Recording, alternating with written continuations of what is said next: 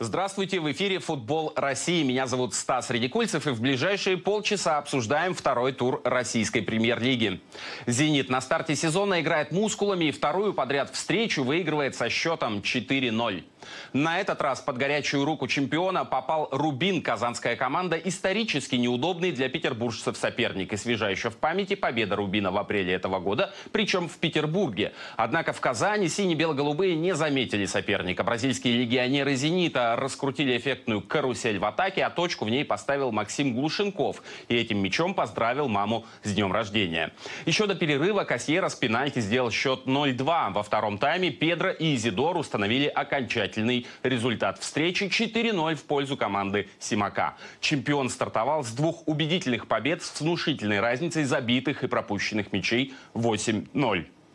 Московская «Динамо» пристала к «Зениту», также добившись стопроцентного результата на старте сезона. Москвичи стали единственной командой в туре, одержавшей домашнюю победу над «Локомотивом» 3-1. На первом столичном дерби сезона побывала и наша съемочная группа. Дерби есть дерби, и аудитория собралась приличная, больше 15 тысяч зрителей. Ложи Динамовского стадиона заполнены звездными гостями. Составы Динамо и Локомотива на фоне этого бомонда выглядят куда скромнее. Но если железнодорожники сознательно расстались с лидерами команды в межсезонье, то ставка на молодежь бело-голубых вынужденная. Понятно, это для нас молодых шанс э, в такой важный матч, в принципе, дерби первый в сезоне. Поэтому проявили свои лучшие качества. Надеюсь, все довольны. Марцел Личко не досчитался перед игрой семи футболистов южноамериканских легионеров и удаленного в первом туре Даниила Фомина. Для московского «Динамо» новый сезон российской премьер-лиги стартовал эмоционально. Игрок «Факела» удаленный чуть не разнес всю подтрибунку, поэтому перед игрой с московским «Локомотивом» здесь повесили грушу. Сейчас проверим, выдерживает ли удар. Справляется, молодец. Разбитые Сергеем Брызгаловым лампочки РФС оценил в 50 тысяч рублей. Впрочем, грушу околачивали в этот вечер только журналисты. Футболисты всю страсть на радость публики решили выплеснуть на поле. Локомотив резво начинает встречу опасными атаками, предлагая играть с открытым забралом. Динамо не против и, выдержав стартовый натиск, гостей зарабатывает штрафной у ворот Ильи Лантратова. Брошенный всеми в опасной зоне Лука Гагнидзе ввинчивает гол красавец в дальнюю девятку ворот. Первый мяч за клуб памятен, а такой никогда не забыть. Еще до передачи я решил, что буду бить. Я не тренировал подобные удары, но получилось хорошо. Я не слышал, как мяч влетает в ворота, но увидел реакцию людей на трибунах и понял, что это гол. Жарко. Пространство за воротами быстро обрастает бутылками с водой. В каждой паузе футболисты стремятся освежиться, а тренеры используют их как микро-тайм-ауты. Забитый «Динамо» мяч как будто бы вывел из равновесия Марцела Личку. Специалист стал взволнован, успокаивая себя приемом Марсела Бьелсы, то и дело усаживаясь на корточки. «Локомотив» же пытается уложить «Динамо» на лопатки. Хозяев поля выручает Андрей Лунев. Пока главное усиление бело-голубых этого лета. Опытный вратарь с чемпионской закалкой. Затем в игру игру вступает перекладина. В конце первого тайма Сергей Пеняев пробегает полполя и катит на Дмитрия Воробьева. 1-1 новый форвард красно-зеленых забивает во второй игре подряд. После перерыва «Локомотив» атакует еще яростнее. Снова непробиваемые Лунев и каркас ворот. Первые там, минут 10, наверное, они нас поджали очень неплохо. Ну, как говорится, не забиваешь ты, забивают тебе, поэтому хорошо, что забили мы. Тяжелая игра получилась. Э, Локомотив команда шустренькая, активная, но хорошо, мы забили больше.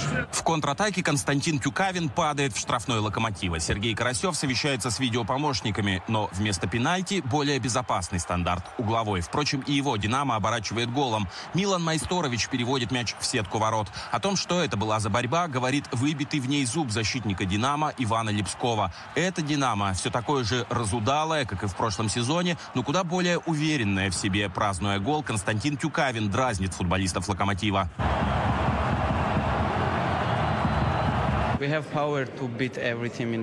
У нас есть сила, чтобы победить всех в чемпионате России. Вы видели прошлый сезон? Ведь мы почти стали чемпионами. Но это футбол, мы усердно тренировались, и сейчас мы еще силнее. «Динамо», почувствовав кровь, бежит добивать соперника. Железнодорожников до поры до времени спасает Лантратов. В свои любимые последние му-минуты игры Нгамалё забивает третий динамовский гол под бело-голубым московским небом.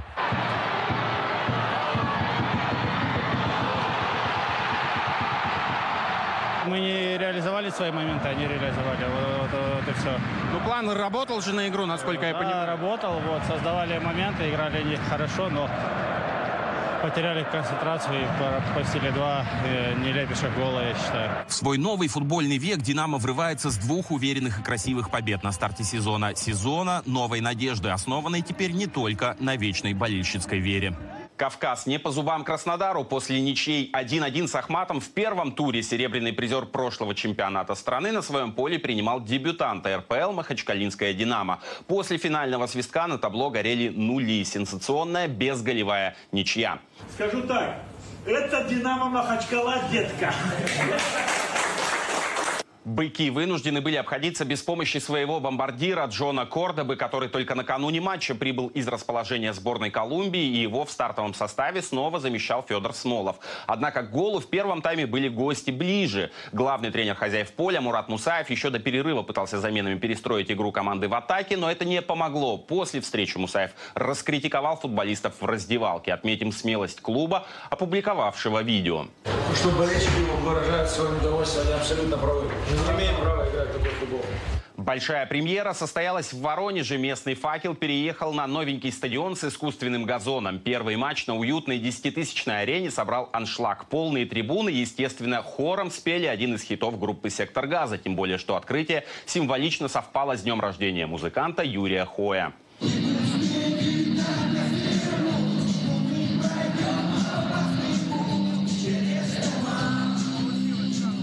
Футболистов «Факела» в матче против дебютанта элиты российского футбола Тольяттинского «Акрона» захлестнули эмоции. В первом тайме команда Игоря Черевченко осталась в меньшинстве. За опасный фол был удален Евгений Марков. После перерыва «Акрон» воспользовался численным преимуществом. Дебютант владел инициативой и довел дело до уверенной победы 2-0. Исторический первый гол на новом стадионе «Факела» забил Иван Тимошенко, а Аслат Мурат Бакаев установил окончательный результат матча. Музыкальный вечер в Воронеже продолжали уже другие исполнители. Есть первая победа Акрона в премьер-лиге.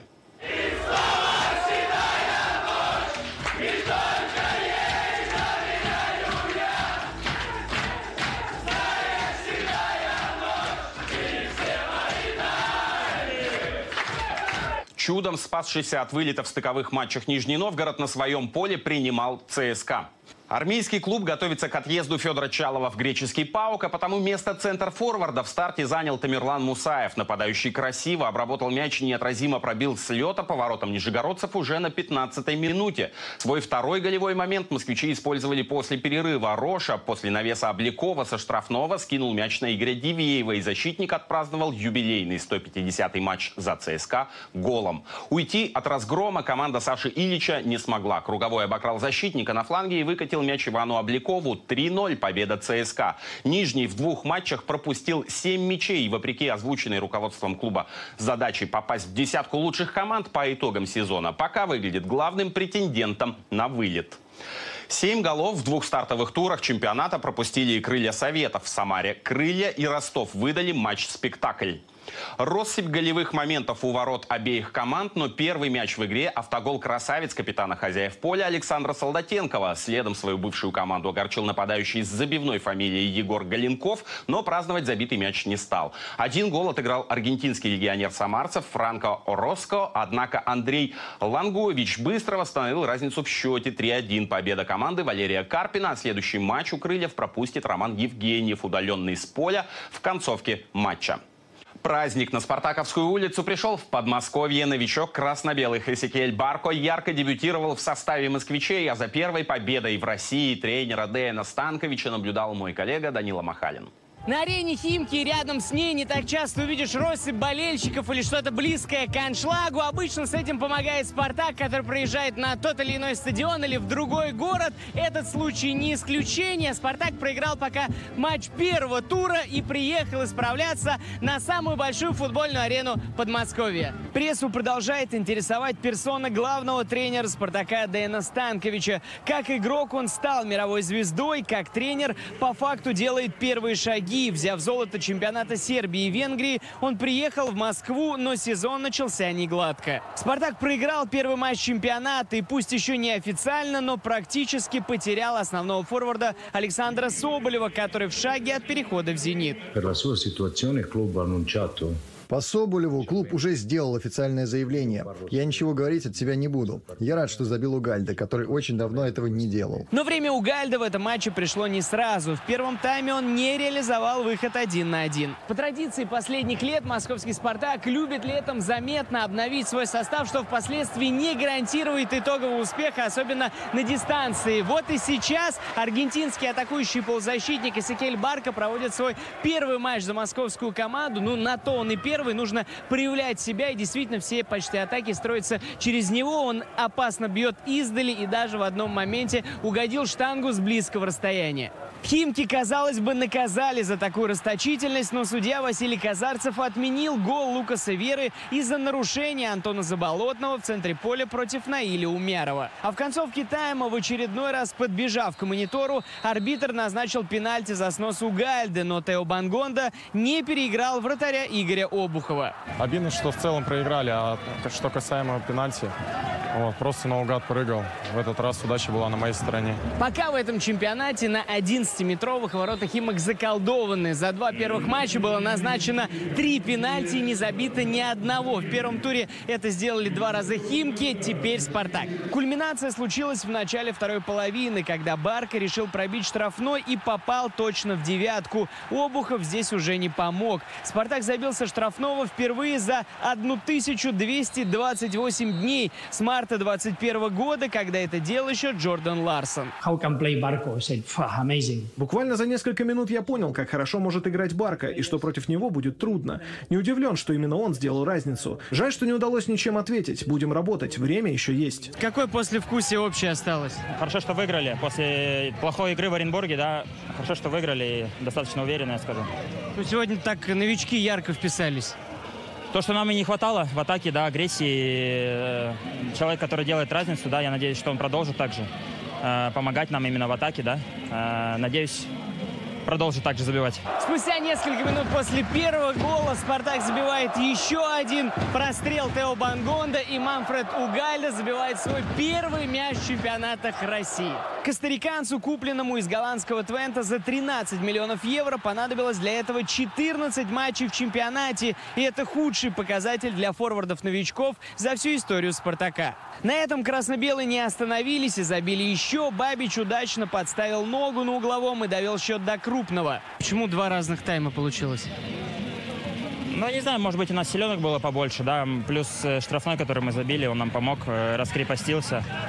Мы раскрепостились, и Химки пошли вперед, соответственно, вот, были зоны для моментов, и мы, в принципе, забили два таких быстрых гола. В самой концовке на поле вышел бывший спартаковец, 37-летний Денис Глушаков, который успел разогнать голевую атаку. Магомедов установил окончательный счет 3-1 победа Спартака. Штрафной барк он раскрепостил немножко. Да мы и так были во втором тайме уже больше, наверное, раскрепощены. Чувствовали, что соперник подсел. Не хватало, наверное, может быть, сил в переходных фазах. Ну, так чувствовалось, не знаю. И усиливали давление, и получилось забить несколько мячей. Очень важная победа, особенно после матча в Оренбурге. Но сегодня был другой футбол, другая борьба, другой подход, будто другая команда. Чему я очень рад. Значит, сделаны правильные выводы. Надо закрепить такое состояние и такой настрой. Оренбург, стартовавший в чемпионате с красивой победой над «Спартаком», не смог забить Ахмату во втором туре. Оренбуржцы нанесли 25 ударов по воротам соперника. Правда, в створ пробили только 5 раз, но голов в этой встрече зрители так и не увидели. 0-0. Грозненцы во втором матче к ряду играют в ничью. Гостем нашей программы на этой неделе стал заслуженный тренер России Мирослав Ромащенко, многие годы входивший в тренерский штаб Станислава Черчесова, а после он возглавлял Грозненский Ахмат. О самом важном и интересном в российском футболе на старте сезона со специалистом поговорил мой коллега Илья Казаков. О предложениях, да, вот вы после ухода Ахмата взяли, как говорят тренеры, в такой ситуации творческую паузу. Когда закончится, куда хочется, о чем думаете? Хочется как можно скорее вернуться к самостоятельной работе, вот, потому что не хочется, чтобы пауза была слишком большой и длительной. Вот, э, не скрою, что был интерес э, с Востока, вот, и мы пообщались даже немножко, но все уперлось э, скажем так, э, в знание, в незнание э, английского языка. Вот, поэтому э, все пока приостановилось. Э, вот, но э, надеюсь, что в скором времени будет еще предложение. Если сейчас пауза, если вы не поехали на Ближний Восток и пока не имеете предложения от одного из российских клубов, наверное, вы в большом количестве смотрите наш чемпионат. Вот в чем отличие первых матчей от а, последних матчей прошлого сезона, если оно есть? А в чем самые любопытные тенденции, на ваш взгляд? Ну, если взять э, старт этого сезона и первое проанализировать два тура, то, э, допустим, очень видна и заметна разница, э, допустим, по игре команд в контрпрессинге. Вот. Э, это очень хорошо э, видно, э, допустим, на примере матчей э, Ростова, который очень хорошо этим элементом игры пользуется. Мы видели это во вчерашнем матче Динамо Махачкалы, который играл э, в Краснодаре. Вот, поэтому многие клубы этим элементом пользуются и достаточно, э, скажем так, неплохо. И это прям разница, которая видна по сравнению с концовкой предыдущего чемпионата. «Зенит». Да, вот этот «Зенит», который выносит всех в одну калитку, и тот «Зенит», который вроде бы натужно заканчивал прошлый сезон, да и шел по его ходу, но все равно выиграл все три трофея.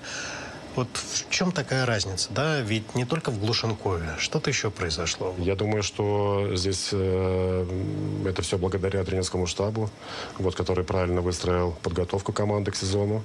Вот это первое. Ну и плюс, э, наверное, не будем забывать, что э, мы не можем не упомянуть Глушенкова, который э, пришел в эту команду и добавил, наверное, каких-то определенных э, красок. Вот, э, и э, это тоже мы не можем не замечать. Самый распространенный тезис про Глушенкова, он играет точно так же, как в «Локомотиве», просто партнеры другие. Вот так это или не так, на ваш взгляд? Я думаю, что отчасти да, вот, потому что уровень, уровень э, игроков, которые есть э, в «Зените», он очень высокого э, ур, класса игроки, э, вот, и, соответственно, взаимопонимание они нашли очень-очень быстро, вот, и э, это не только сказывается в забитых э, мячах Глушенковым, да, но и в скорости принятия решений, которые мы видим, вот, потому что очень много моментов, когда э, скорость реакции настолько быстрая у Вендела и компании э, в связке с Блушенковым, что это все ну, трансформируется в голевые, либо в предголевые моменты. Вот это, это первое. И второе, э, давайте не забывать, что по мне, на мой взгляд, наверное, и сам футбольный интеллект у Глуш, Глушенкова очень высокого качества. Николай Писарев, один из помощников Валерия Карпина по национальной сборной, сказал, что никакого конфликта с тренерским штабом у Глушенкова нет, потому что такой слух появился не так давно, и что на ближайший сбор должен зенитовец оказаться среди тех кандидатов, которые приедут в Новогорск. Карпин, если мы помним, ранее сказал, что Глушенкова нет сборной, потому что ему надо прибавлять во всем. Вот э, в чем, на ваш взгляд, Глушенкову надо прибавлять, если вы с этой точки зрения согласны? Ну, я э, глубоко не анализировал игру Глушенкова, но если, э, допустим, брать какие-то вещи, э, допустим, по э, переходным фазам, допустим, из обороны, из атаки в оборону, может быть, в этом компоненте нужно будет прибавлять. Э, вот. Для того, чтобы ответить четко и конкретно, наверное, нужно больше было за ним следить. Но могу сказать, что в любом случае э, парень, он очень умный, и я думаю, что работая под руководством Симака и находясь рядом вот с такими партнерами, решая самые высокие задачи, ты волей-неволей будешь делать какие-то поправки в своей игре для того, чтобы улучшить ее, стабилизировать и выйти на определенный новый уровень. «Зенит» и «Динамо» возглавили турнирную таблицу, пройдя два тура без потерь, в отличие от других команд. И если в случае «Зенита» это было, наверное, предсказуемо, то «Динамо» в хорошем смысле удивило. Я знаю, что в клубе крайне болезненно восприняли концовку прошлого сезона. То, что золото было так рядом, поманило, но в руки не пришло. И, на ваш взгляд, вот за это время «Динамо» уже переварила ту неудачу правильно переварила, забыла и идет дальше? Я думаю, да, потому что э, был определенно наверняка сделан анализ не только тренерским штабом, но и руководством команды и самими игроками. Вот если мы вспомним начало э, прошлого сезона, э, где э, была озвучена перед командой задача именно бороться за чемпионство, то мало кто верил, наверное, даже из, из э, числа самих игроков в то, что это возможно. Вот по концовке они видели, что птица счастья была э, настолько близко, вот, что, наверное, растерялись э, от такой возможности, да, схватить ее, вот, за, эту удачу за хвост, вот. И, соответственно, я думаю, что футболисты стали мудрее, взрослее, вот, и э, плюс, мне кажется, что у них осталась э, именно вот эта вот э, э, легкость э, игры, которая была присуща этой команде во второй части, скажем так, э, концовки чемпионата, она прям по наитию перешла, плавно перетекла и в начало этого сезона, и поэтому мы видим, что не особо сказывается, как минимум по результату э, в первых двух матчах э, качество игры. «Динамо» играет без Тюкавина. Ну, конечно, он на поле есть, но внимание к нему, как лучшему игроку прошлого сезона, и на матч с «Локомотивом» Константин вышел с капитанской повязкой, совершенно иное. И если в том году очень много в том сезоне говорили о Тюкавино зависимости, то сейчас мы видим, что «Динамо» научилась забивать без него. Вот как, да, почему, что происходит? Давайте не забывать, что прошло только всего лишь два тура. Я думаю, что э, у Тюкавина все матчи и голы, все лучшие матчи и голы, соответственно, еще впереди. Сезон длинный. Другое дело, что мы видим, что сейчас в отсутствии каких-то, наверное, скажем так, э, моментов э, при игре в, атакующей, в атакующем построении, он немножко больше задействован э, в каких-то других моментах. Э, это и э, оттягивает игроков обороны в другие зоны, и вытаскивает их, и освобождает э, для своих партнеров, э, вот эти, делая так называемые вертикальные коридоры. Вот. Ну и плюс, э, вот что бросилось в глаза, что все-таки он стал больше работать и на оборону. Поэтому я думаю, что голы еще будут, но нельзя не отметить и тот момент, что и соперники сейчас будут немножко по-другому к нему относиться. Как соперники будут относиться теперь к московскому локомотиву? Команда проиграла проиграла, ну или не выиграла 7 последних матчей у земляков российской премьер-лиге, у других московских клубов. И учитывая расставание с теми футболистами, кто был лидер, кто был индивидуален, все дальше складывается сильнее ощущение, что «Локомотив» как-то вот сам себя понижает э, в задачах, в качестве, вопреки тому, что официально звучит из Черкизова. Ну, мы видим, что строится новая команда, и Галактионов пытается э, нащупать какой-то баланс, э, который был бы оптимален вот, для команды. Вот.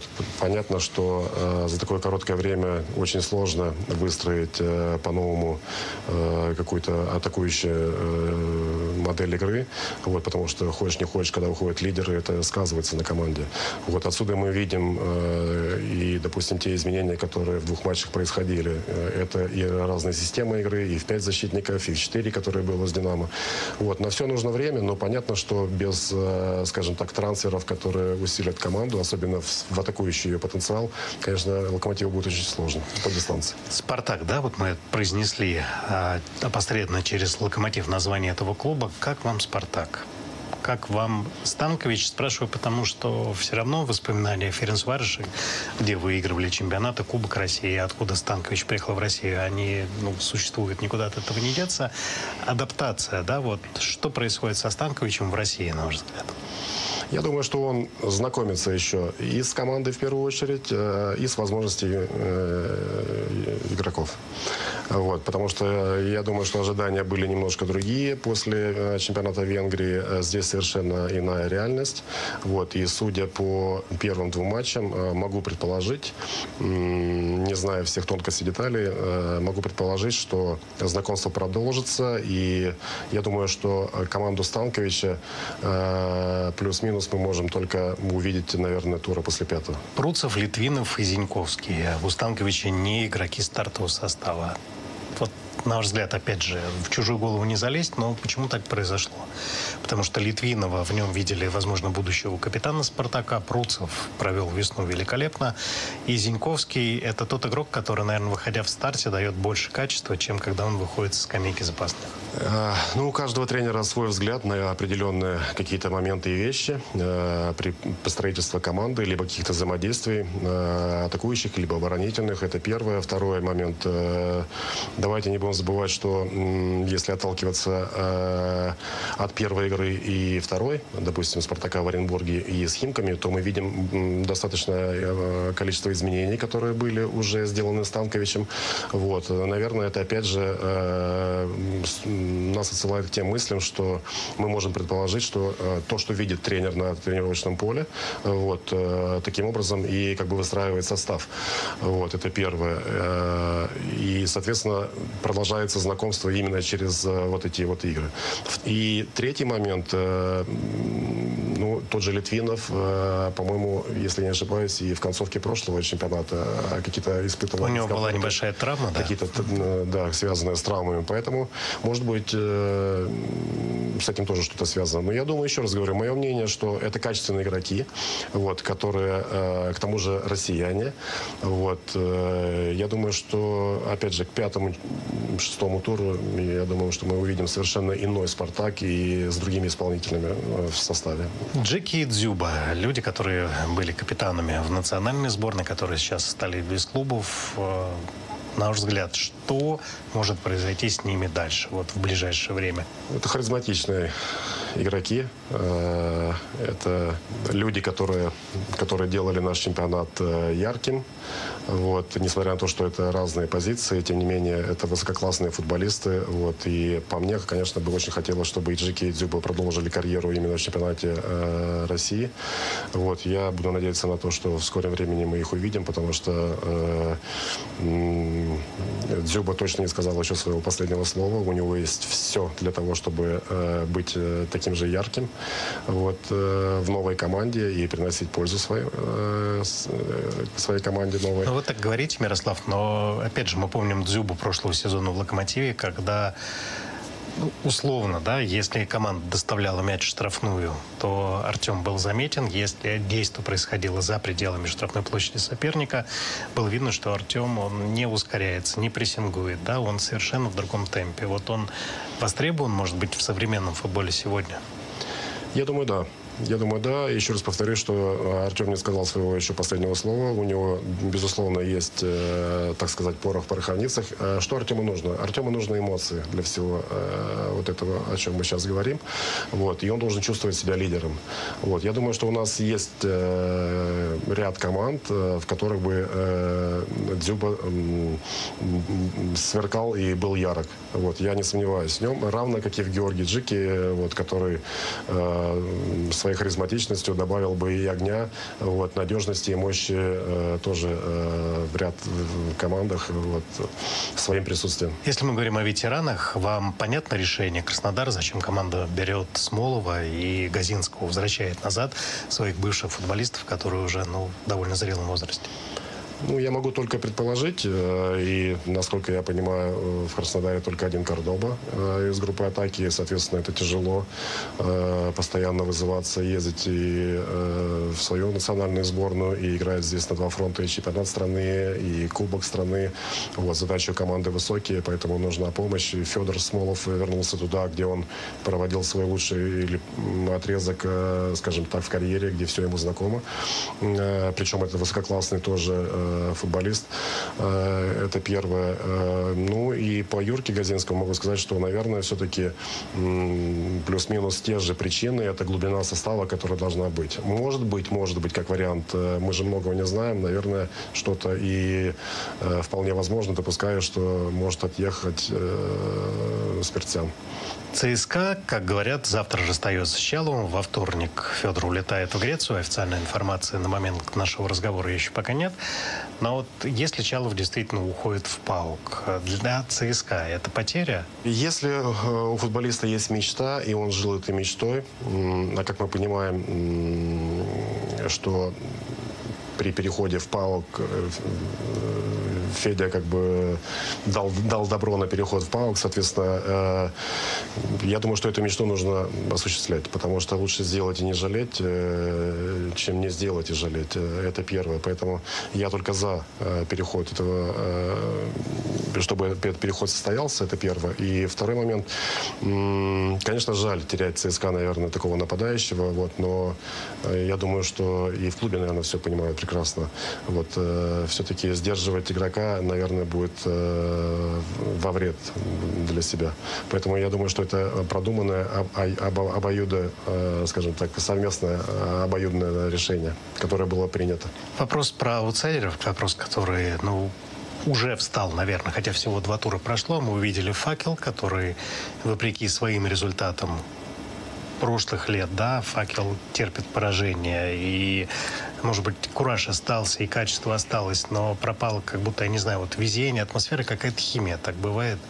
Вы лучше меня это знаете. Есть абсолютно загадочные химки, когда команда расстается с тренером, только что выведшим ее в премьер-лигу, многое, мне кажется, потерялось, и потерялось ну, какое-то единство, идея, которые были при Талалаеве. И Пари НН — это клуб, который ну, в прошлом сезоне он пропустил множество мячей при Саше Ильиче, возглавившем команду в четырех турах. И вот сейчас то же самое. Два первых тура, семь пропущенных мячей. Вот аутсайдеры, на ваш взгляд, уже определились, те клубы, которые сразу будут вынуждены бороться за выживание? Э, ну, понятно, что мы обсуждаем так называемых аутсайдеров только по прошествии двух туров, но мы не можем не замечать какие-то вещи, которые, допустим, переходят с одного чемпионата в другой, да, как в случае с Нижним Новгородом, это первое. Вот. И здесь можно отметить э, такую тенденцию, что, да, пока сдвигов э, мы не видим, вот, причем видим, наверное, скорее обратную ситуацию, какую-то, скажем так, пустоту пустоту, может быть, да, в, глазах игроков и некое недопонимание э, все же того, что нужно делать. Вот, во всяком случае, так со стороны кажется. Э, но, опять же, в любом случае мы э, понимаем, что трансферное окно еще открыто. Вот, я думаю, что все это прекрасно понимают, и, работ... и все эти команды работают над возможностью усиления состава. Абсолютно убежден в этом. Вот, поэтому э, время есть для того, чтобы исправить какие-то вещи, но м- по первым двум матчам, да, можно сказать, что будет тяжело, допустим, э, и Нижнему Новгороду, э, вот, э, и, соответственно, наверное, двум другим командам. Спасибо Мирославу Ромащенко, человек, который подарил, один из тех людей, который подарил нам вот это удивительное лето 2018 года, один из тренеров сборной России на домашнем чемпионате мира, был гостем программы «Футбол России». Мы не прощаемся, увидимся через неделю.